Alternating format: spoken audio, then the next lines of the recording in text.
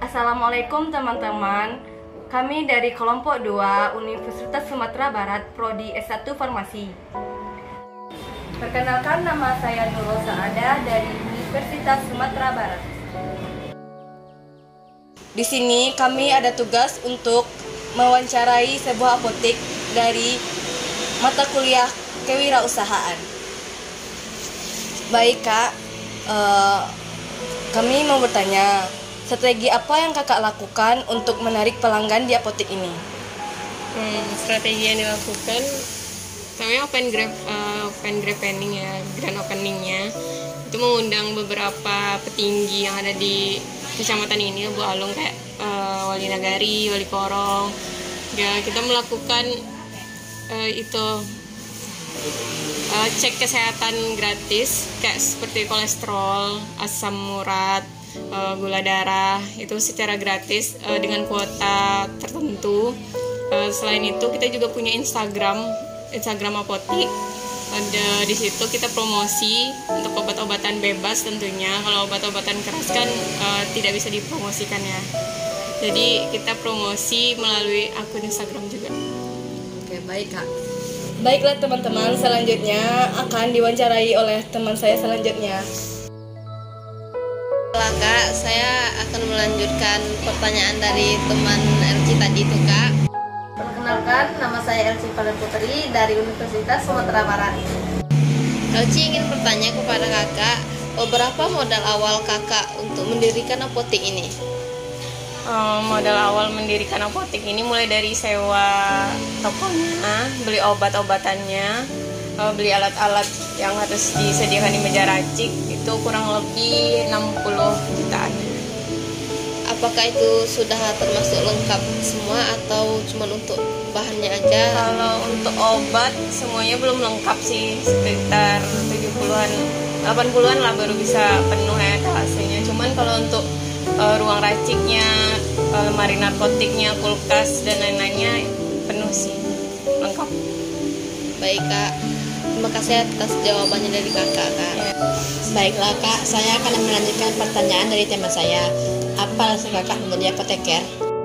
Perkenalkan, nama saya Mailin Khalifah dari Universitas Sumatera Barat. Eh, alasan menjadi apoteker selain peluang kerjanya yang tinggi dan apoteker itu eh, apa ya karena obat itu nggak akan putus kan nggak akan habis gitu. Jadi menjadi apoteker itu sangat sangat eh, penting perannya di dunia kesehatan. Selain itu juga tertarik bekerja di bidang industri eh, obat-obatan. Dalam meracik obat juga tertarik kerja di rumah sakit juga tertarik. Eh, makanya itu memilih untuk eh, menjadi apoteker kuliah. Juga Baik kak, di sini Rizal mau melanjutkan pertanyaan wawancara teman-teman. Nama saya Asrijal dari Universitas Sumatera Barat. Eh, yang pertanyaan Rizal itu, eh, bagaimana awal mula kakak berpikir untuk mendirikan apotek itu?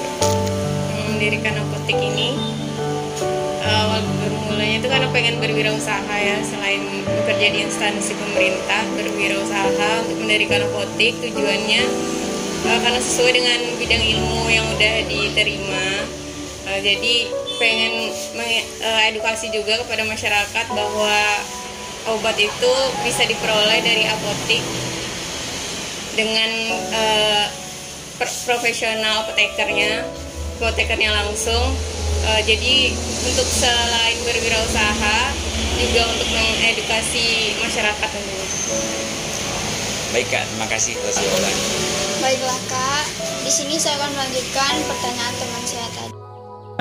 Perkenalkan nama saya Cynthia Astita Salvo dari Universitas Sumatera Barat.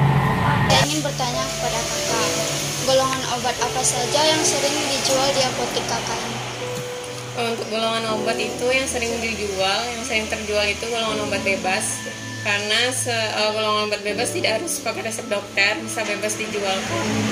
Kalau untuk obat keras kan harus menggunakan resep dokter jadi jarang uh, resep dokter belum banyak masuk di sini jadi jarang terjual itu pun kalau obat keras itu obat uh, wajib apotek yang yang lumayan terjualnya jadi obat yang sering terjual itu ya obat bebas Oh, baik kak, di sini saya akan melanjutkan pertanyaan dari teman-teman saya.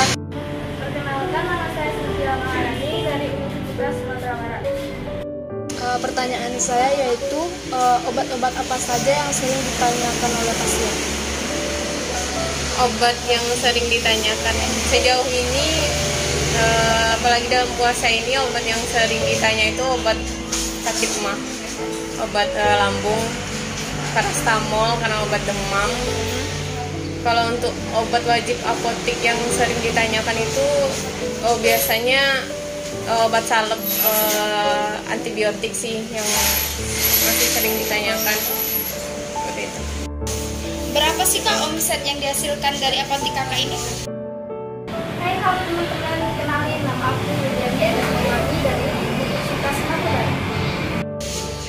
Hmm, apotek ini karena baru berdiri ya baru beberapa bulan ini. Jadi omsetnya belum menentu sih. Cuman eh, kita ambil persenan dari keuntungan itu. Itu sekitar 10% untuk keuntungan dan 10 eh, 11% sekarang untuk eh, PPN-nya untuk pajak. Kak, untuk melanjutkan pertanyaan dari teman Assalamualaikum warahmatullahi wabarakatuh. Perkenalkan, nama saya Muhammad Aldo dari Universitas Sumatera. Ah, kalau boleh tahu, sejak kapan apotek ini berdirinya, Kak? apotek ini eh, mulai untuk penyewaan eh, tokonya itu bul- eh, bulan November, cuman untuk obat-obatnya datang itu Desember. Eh, Desember itu cuma obat bebas karena izin yang diurus itu kayak SIPA, SIA itu butuh waktu dua bulan sampai tiga bulan juga urusnya. Jadi buka apotek Desember itu cuma menjual obat bebas setelah itu sama kayak toko obat ya setelah keluar si Pasia itu sekitar bulan awal Februari kemarin. Jadi baru bisa menjual obat keras antibiotik dan lain-lain.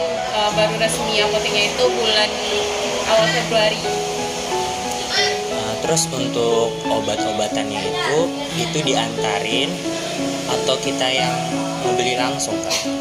untuk pertama itu karena kita belum diketahui oleh sales eh, PBF jadi kita beli pesan dulu ke PBF sa- salah satu PBF Eh, kita yang langsung beli ke sana.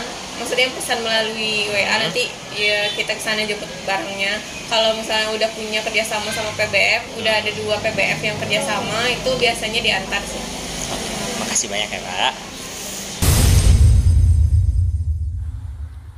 Assalamualaikum warahmatullahi wabarakatuh. Perkenalkan, nama saya Nabilatul Hasanah dari Universitas Sumatera Barat. Sekian dari kelompok kami, lebih dan kurang kami mohon maaf. Wassalamualaikum warahmatullahi wabarakatuh.